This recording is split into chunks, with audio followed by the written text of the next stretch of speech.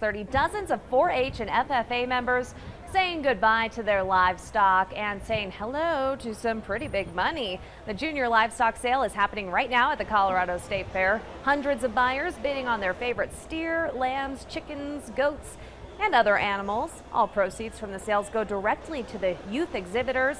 And by taking part, buyers are helping these kids further their education, and it's also supporting Colorado's agriculture. I'm going to reinvest a couple calves next year. Next year is my last year showing.